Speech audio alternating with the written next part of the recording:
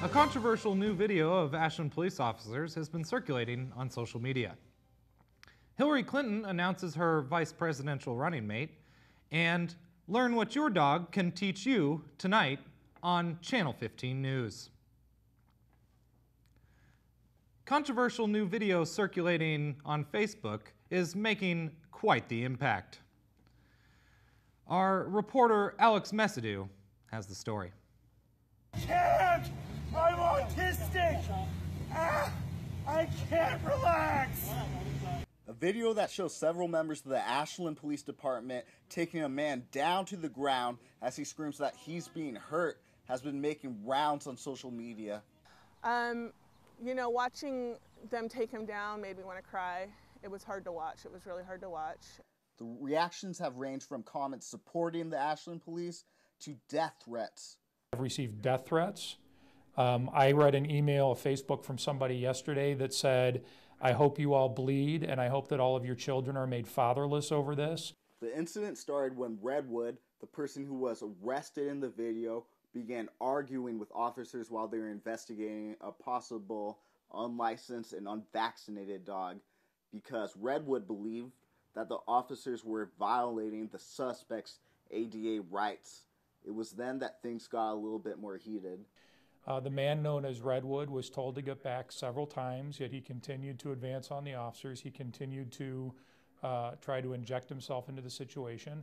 And so the officers made the decision that he had crossed the line, liter- literally and figuratively, and that he was going to be arrested for interfering with a police officer. Ashland Police Chief Tighe O'Meara believes that the police took the right course of action when arresting Redwood. I have had people come to me from the education world, people that have worked with autistic children, that have said, Tighe, the way your officers handled that is exactly the way you are supposed to handle an out of control autistic person.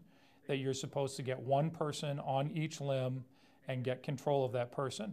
That is exactly what the officers did. Others believe that the situation could have been de escalated prior to making the arrest.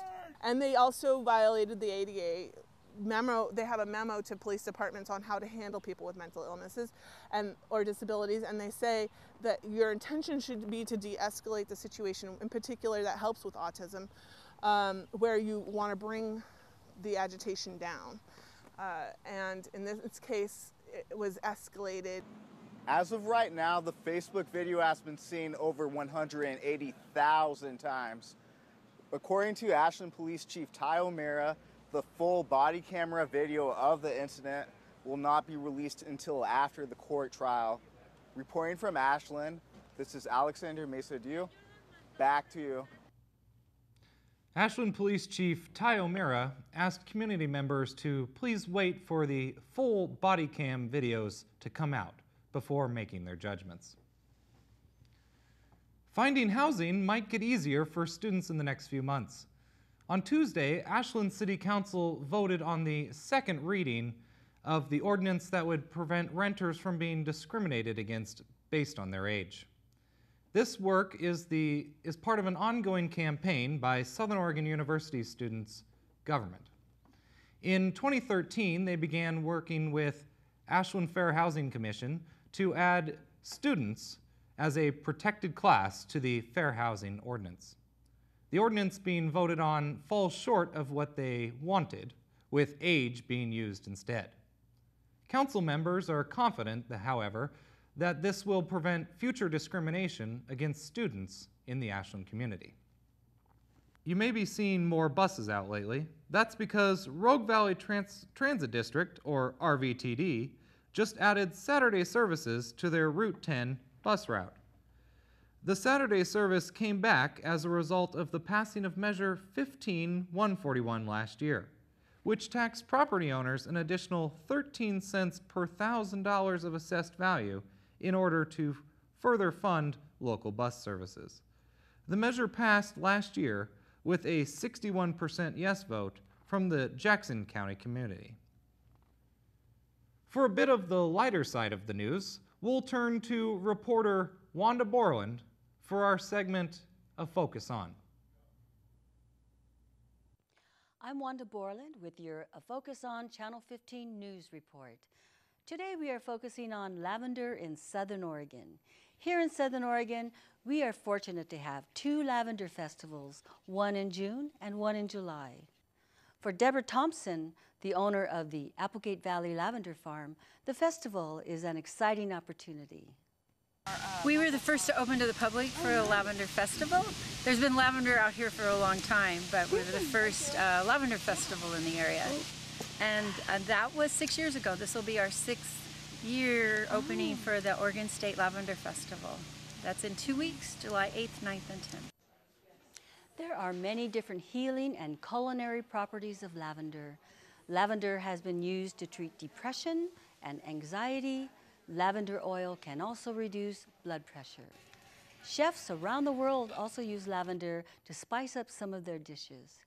Here's Bonnie Rinaldi from the Lavender Fields Forever Farm to tell us a little more about culinary lavender.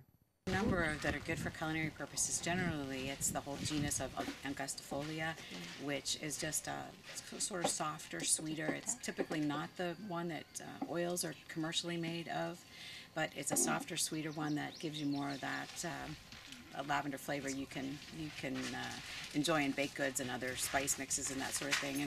The Lavender Fields Forever Farm, the Applegate Valley Lavender Farm, and the English Lavender Farm all sell lavender products at their farms and online. For Sue Owens, owner of the English Lavender Farm, merchandising is a full-time job. We've been at this farm since 2014 was the first time we opened. And um, we grow mostly English lavender here. So I do Ashland Tuesday Market and uh, Medford Thursday Market. And then also Grants Pass on a Saturday and Jacksonville on a Sunday. So we have a booth at each of those every week. Lavender farms throughout the region will be open throughout the summer.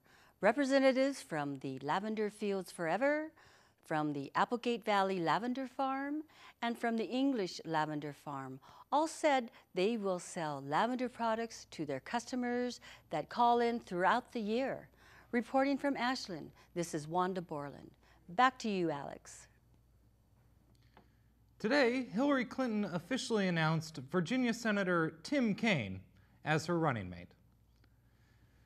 Clinton introduced Tim Kaine to a packed crowd in Miami today and Kaine spoke on his religious background, his family, his life, his experiences abroad in Honduras, and addressed the crowd in Spanish multiple times throughout his speech.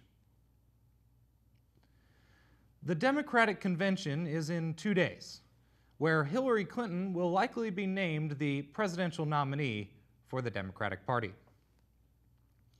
Recently, Southern Oregon University students heard some dark stories of tough times. Reporter Alex Mesadieu has the story.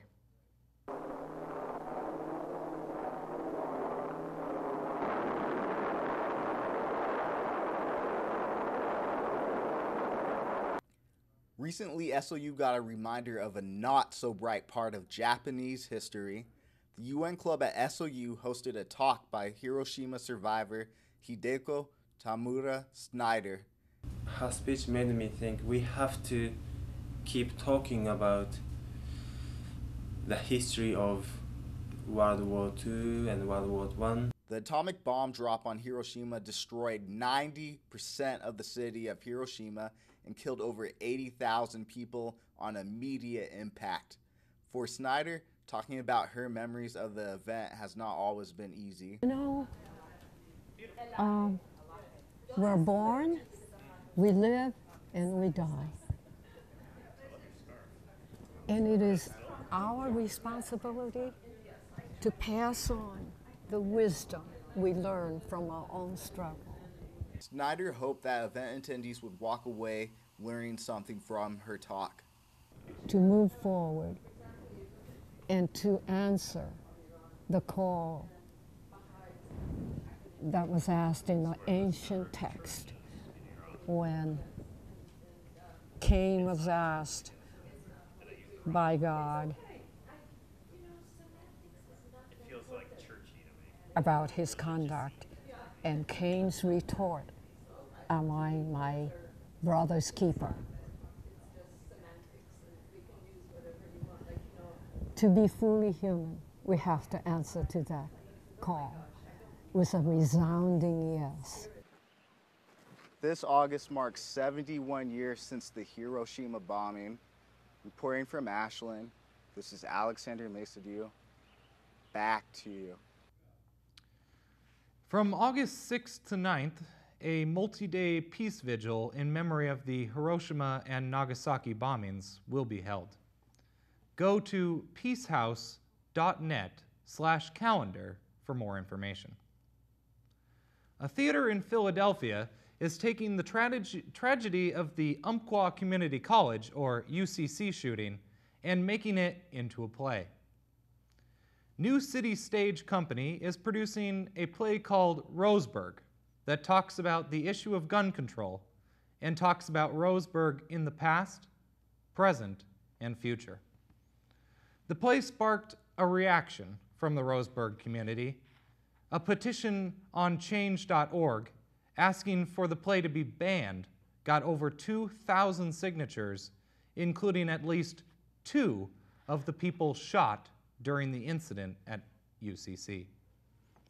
One person wrote, I was in the classroom and was one of the many shot and injured. We have gotten so much hate mail and even death threats since the shooting. We have been called crisis actors to enforce gun control. Now there is going to be a play about what happened to us to enforce more gun control. Playwright Ginger Dale did not respond to their requests for comment. Usually we tend to teach tricks to our dogs, but our reporter John Letts talked to one man who believes dogs can teach us a thing or two. John Letts has the story. In Josephine County, we have a resident who has had some very good experiences with dogs, so much so that he's written a book about it. After living with as many as 19 dogs, Paul Handover moved to Southern Oregon and wrote a book called Learning from Dogs. The book shares his experiences with a German shepherd named Pharaoh. Paul found that writing a book was a huge undertaking, but with encouragement from a local writing group, he finished the book and put it on the market. I asked Paul what inspired him to write this book.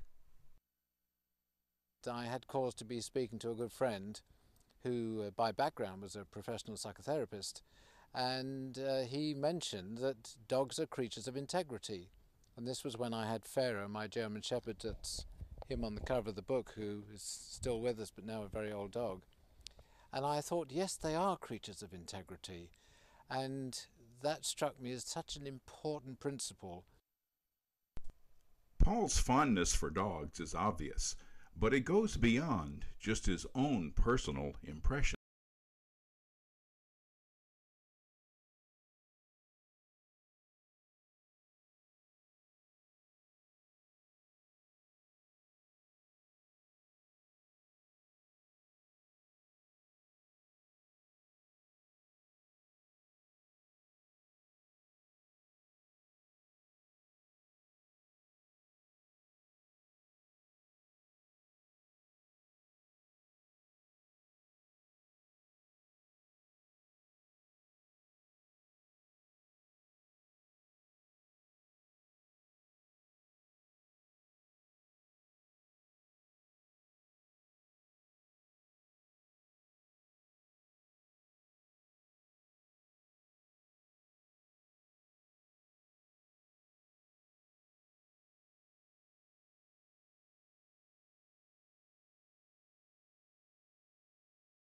We do need to learn and to have in our lives on a daily basis because they deliver such beautiful rewards.